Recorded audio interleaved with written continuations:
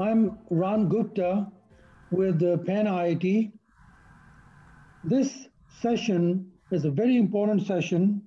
It's called Wheels Applying Technology to Scale Philanthropy. Our moderator for the evening is Suresh Shenoy. Suresh has been a wonderful supporter of the IIT system and Pan IIT itself. In fact, the Wheels organization was formed from Pan IIT to support nonprofit work outside of uh, Pan IIT. I've known Suresh here in Maryland now for about 12 years. Fantastic individual, an IIT Bombay graduate. And at this time, without taking too much time, I'm going to introduce Suresh to moderate the session. Suresh? Thank you, uh, Ron. Greatly appreciate your introduction. Uh, congratulations on a wonderful event that you have put together with so many speakers. Uh, it is a privilege to speak to fellow IIT alumni and others. Uh, just by way of a background, Wheels Global Foundation was founded in 2006 in response to a challenge by the late President Abdul Kalam to solve the quote unquote big problems faced by India, the United States, and perhaps the rest of the world. But he didn't tell us what those big problems might be. A group of IIT alumni led by Chairman uh, of Pan IIT at the time, Rajat Gupta, and several academic uh, academics such as uh, Pradeep Khosla and others were involved. And we brainstormed uh, at a meeting, which was also uh, attended by Kapil Sibal, who was the Minister of HRD, and by Mr. Sam Pitroda, who at that time was the chairman of the Knowledge Commission. And we identified the six areas that offer the biggest challenge to all the uh, to India and perhaps the rest of the world had to do with access to clean potable water, affordable healthcare, renewable energy, education, livelihoods, and sustainability. And based on those six areas, you know, that's the acronym for WHEELS, we also had a brainstorming session as to how does IIT add value to solving these problems.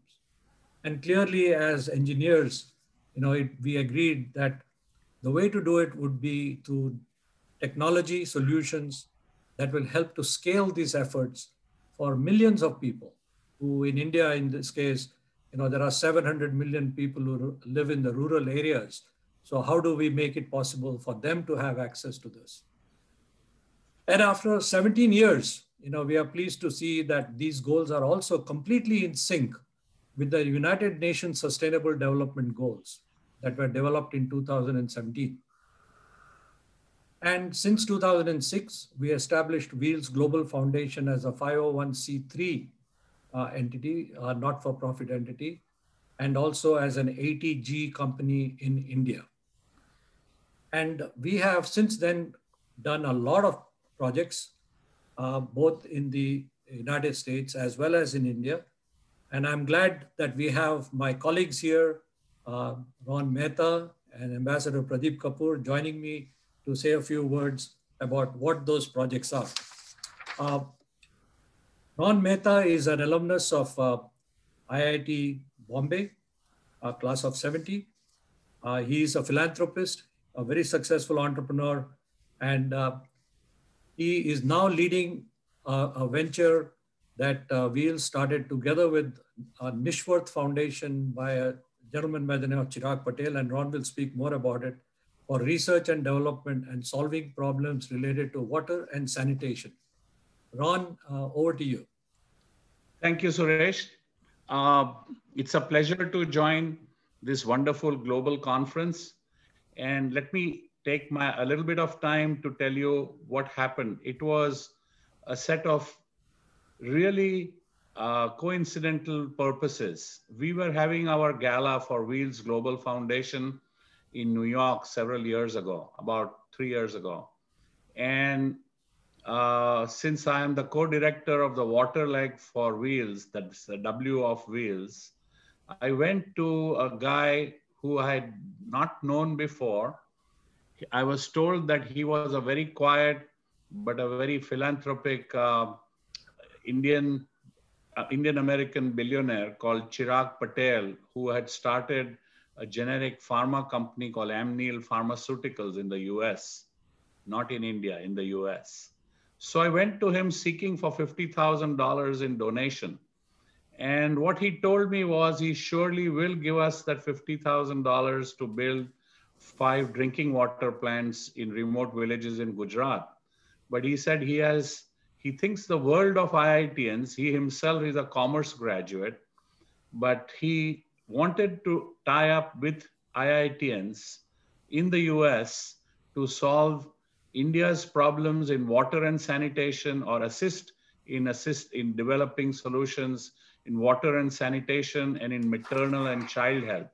And the other requirement was that he wanted to establish that in and around Ahmedabad, which is where he came from, which was kind of music to my ears because even I come originally from Ahmedabad. So he did not even know that there was an IIT in Gandhinagar. So very quickly we formed what is called as Wheels India Niswarth Foundation, and he seeded it with a promised donation of $2 million that he has fulfilled over the last little more than two years. We had developed and actually assigned significant amount of grants to several IITs. And let me start with the water and sanitation side. At IIT Kharagpur, we are funding little more than um, more than a little crore of rupees to take a slipstream from IIT Kharagpur's sewage system and go through a series of novel and innovative treatment systems which will render the sewage uh, water to potable drinking water at a very affordable cost. Unfortunately, the plant was built, but COVID uh, kind of stopped it. The other project we are doing at IIT Bombay involves a chemistry professor who has taken an alternate route or instead of using reverse osmosis to use capacitive deionization to treat highly contaminated groundwater to make it drinking uh, water standards. That has tremendous merit, and it is a possibility that we might be able to spin that off into a commercial venture. The power used for cleaning a five liter flask of dirty water is as low as a AA battery and using carbon nanotubes. We have also dealt there with Professor Bakul Rao of CTARA to develop, um, you know, entire town-based water and sanitation planning. At IIT Gandhinagar, we have given grants to do research work in advanced uh, technology for arsenic removal to take a non-electric um, system to basically remove 99.99% of the biological bacteria coliform and several other areas like that. We have also worked with NGOs in Kutch in, a, in assignment with Tata Power, CSR, to participatory groundwater management, which has greatly improved the water table and reduced the salinity. We are also heavily involved in uh, basically in maternal and child health. And there we have been able to fund significantly training the TRAIR concept by actually taking uh, concepts in maternal and child health and nutrition and putting them on spoken tutorials. This is just some of the way in which Wheels in connection now with Win Foundation has been able to do a lot of work. Please go on our booth uh, through Wheels Global Foundation, and you will find more details. Thank you very much.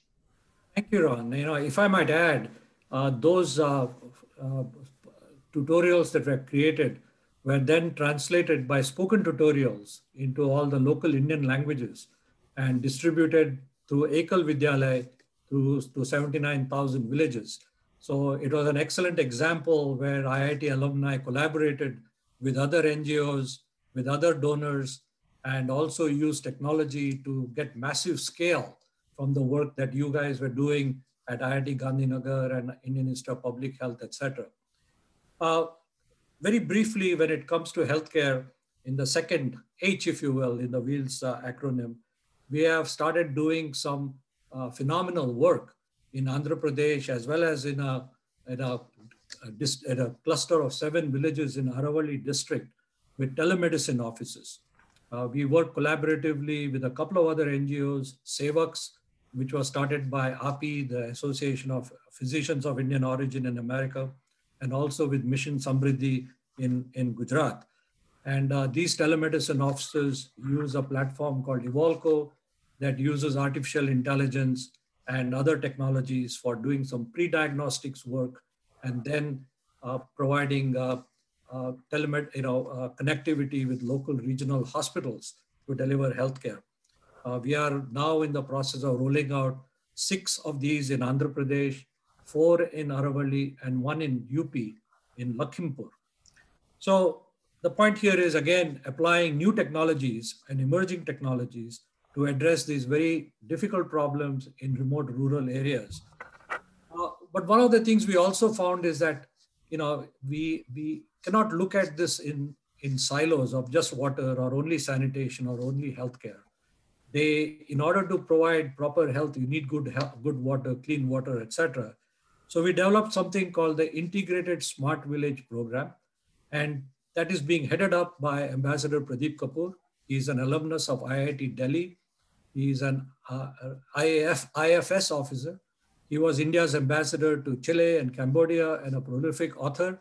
His latest book, which is which talks about life after COVID, if you will, post-COVID healthcare issues, is become has become a bestseller on Amazon. So please welcome Ambassador Kapoor. We will talk about smart villages. Thank you very much. Thank you, Suresh. So, uh, just one quick word about the book before I start about the Smart Village projects. Uh, the book title is Beyond COVID Envisioning a Better World by Transforming the Future of Healthcare. It has uh, come on to become the Amazon bestseller uh, in healthcare and in public policy. It's also received some awards Health for All Award and Excellence in Literature Award. So, we hope that uh, you know the listeners today will be able to participate in the conversation uh, considering that the times we are passing through which are very very difficult very unique which has something which has not happened or occurred in maybe more than a century now more than 100 years. So uh, coming to this integrated uh, you know look at the villages to see how we can intervene in a manner which will make them develop holistically so we developed this you know process which is called the Smart Village Development Initiative. Smart not as in smart smart or as in smart cities, but unique to the villages and smart standing for uh, you know the S in the smart stands for strengths of the community that we are working with, the rural communities. M is for measurement of the impact, measurement of success, measurement of the status where the villages are in terms of different parameters, whether it is health or water or sanitation or education or livelihoods or sustainability. A is for appropriate technologies, appropriate interventions, which are beneficial in the long run and which do not have too many downsides for the rural community. The rural community being a very large community in the world. And we are trying to bring focus upon them and their needs and their requirements and their, uh, you know, sort of participation, contribution, involvement. R is for replicable, where we can scale up these projects not only in the villages of India, and you have a population in India of uh, the rural community, which is more than most countries of the world today. Just the rural population in India is more than 700 million people, which is twice that of the US, for example. So it's a very large community you're dealing with. And if you put together the rural communities in different countries and different continents of the world, it is more than half the population of the world. And that is not a population where most of the development banks like the World Bank or IMF or the Inter-American Development Bank or the other development banks focus upon as much as they should be doing. And T is for technology where you have, you know, the strengths of the IITs, the IIT alumni who are coming in as partners in the process of government with the rural community. So we have decided, for example, to use one particular model which has been developed by one of the IAS officers of Gujarat, Dr. Jayanti Ravi, who is a partner with us in this very interesting and exciting journey. Uh, and that is called SEHU model. SEHU standing for Social Empowerment for Human Upliftment, where you have a development flower and the petals of the development flower depict the different verticals of growth and development like health like water. So each petal depending on the access and the equity the petal coloration increases. So the villagers can also understand the status where they are at in terms of all these different aspects. If the access to a particular sector is more the coloration of the length increases if the equity is better, then the breadth of the coloration of the breadth increases. So it's very easy for anybody to understand. Now, in this journey, in this venture, we have defined all our partners as development accelerators. So we are not talking about the government as being they and you know sitting on the other side of the table. We want to put everybody on the same side of the table. So we call them development accelerators. And we are having continuous conversations with a large number of departments of the government also and partnerships, including the Ministry of Panchayati Raj in India, the Ministry of Rural Development, the National Institute of Rural Development and Panchayati Raj, which is in Hyderabad, and also the Niti Aayog, which has already taken us as one of the partners in innovation and social entrepreneurship and technology. Now, uh, what I would request here is that you know, all those people who are listening today, you heard, many of you, or most of you would have heard the speech by Prime Minister Modi yesterday at the inaugural function. We were very happy that he agreed to come and give the inaugural keynote uh, address to millions of people because it was being live streamed on a large number of TV stations in India and all over the world. So it is, I guess, for the Pan IIT also, it's a matter of great pride, and for the Wheels also, it's a matter of great pride that we were able to request the Prime Minister to come in and give the inaugural keynote. So that has brought in the maximum number of eyeballs ever to a Pan IIT event till today. So it's a very big milestone for us. Now, listening to his speech, I'm sure a lot of us would have been very, very inspired to contribute in whatever way we can. So what we are asking you is the following. Start your contribution as early as possible, maybe today. Whether it is through your time or through your talent or through your treasure. This is not my original quote by the way. This is stolen from Suresh Shenoy, the president of Wheels. But and you are living in the US or wherever in the world, that is your karma bhumi you were born mostly in India, so that is your Janma Bhumi.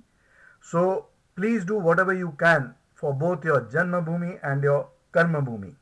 We already have projects on the ground. We have a very great pilot going on in Gujarat, in Aravali district, which is, you know, a great experiment in this holistic development and intervention by a large number of organizations which are very outstanding, like the Mission Samriddhi, which has a great footprint, which is our uh, very strong partner on the ground, which has a pan-India footprint. We have Surgeon Foundation, which is based out of Gujarat. We have a global partner, which is IEEE Integrated Smart Village. We have Stanford University, the Ideal Village partner. So we have large number of partners nationally, regionally, globally, and we also have very specific project partners such as Win Foundation, Ron Mehta is here, he just spoke about it. We have, for example, Bosch Foundation. Bosch is doing in Aravali training of trainers. It is also doing training of the village folk, whereby it guarantees employment to the people who undergo the training, 100% employment guarantee. So we are doing whatever we are doing is basically born of the people, for the people, by the people. There's Piramal Foundation working with us on the water aspects. There is the Health Council working on telemedicine aspects.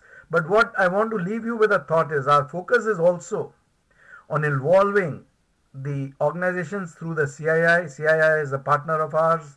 So the corporate sector is partnering with us. And most importantly, the university sectors in India through the Unnat Bharat Abhiyan and particularly specifically the IITs through the IIT directors, IIT faculty, and most importantly, our most important constituency is the IIT students. So we have had students from IIT Madras in the Aravali project before we started partnering with it. We have students from IIT Tirupati who came in after we started partnering with it, who have done a lot of work on the SAVE model.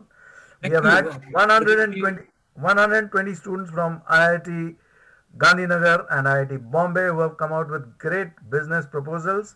Log on to our website to see which proposals you want to support for business purposes, where you will grow the village through partnership with the villagers and the rural communities. Thank you very much. I really appreciate that. Uh, we are unfortunately limited with very little time. So I have one question for, uh, for Ron. Um, Ambassador Kapoor talked about how everybody can get engaged uh, with Wheels and with Win Foundation. So I'd love to hear your thoughts on how the alumni that are at this conference here talk about retail giving. Uh, the large contributors in the IIT ecosystem have done a lot of work, but how can this person who wants to give $500 or $1,000, how do they contribute to applying technology to solve these problems and participate in what you are doing at IIT Gandhinagar and elsewhere? Suresh, currently, Win Foundation, the way it has been established, we have a sole donor, and it was his desire that before we involve even the government or any um, any um, administrative bodies, we first try and find solutions on our own, and we have not essentially looked out for other funding from retail donors, as you mentioned. So we are planning to change that. We are going to discuss this at our upcoming board meeting, and we'll probably end up doing, coming up with some idea in 2021. But in the meantime, I suggest they go on Wheels Global Foundation, wheelsglobal.org, and you can pick the donate button, and you'll see six of those tracks, and you can pick and choose what areas you want to do. We also have our icon showing up on the Wheels uh, site. So that is one way. But right now, we don't have a mechanism for retail donors at Win Foundation. Thank you. Uh, actually, our virtual booth uh, and kiosk, uh, which is here at the conference, has got several uh, portals through which you can get additional information on how to participate with Wheels. But we are very much aligned with the, the Prime Minister and several other speakers who have talked about how technology needs to be applied to benefit and uplift the 700 million people who live in villages. Uh, for a thousand dollars, for example, we can easily set up a telemedicine office and we can also do clean water projects for less than $2,500 or $3,500. And uh, there's a whole slew of ways in which people can participate. I see Viti is on the uh, call now. Viti is uh, also a board member of Wheels. So welcome, Viti. And I know we are out of time. So over to you. Thank you, Suresh. Thank you. First of all, I apologize. Running four or five panels at the same time, I've been dragged in every direction. So I was late for this panel. But I really appreciate you guys making time to come on to this panel and, and, and discuss or uh, tell your thought process to the whole world. You might be aware, uh, 10,000 plus people are logged in right now, watching you live around from the 40 different countries. So whatever message you have given, that has gone to all the people. And uh, as Sandy, the president Pan says, as I am saying as a vice chair for the conference, Pan is always there to support Wheels, whatever you guys are doing. And we are part of Wheel. Wheel started from Pan. That is correct. Yes. So, so we are one body with two different names. So we go hand in hand. So uh, that's all I have to say. But thank you to Ambassador uh, Kapoor, Ron, Uh, of course, Suresh, you and all the Wheels uh, board members. I am one of them, of course. But whatever uh, you have done, that's great. Hats off to you guys.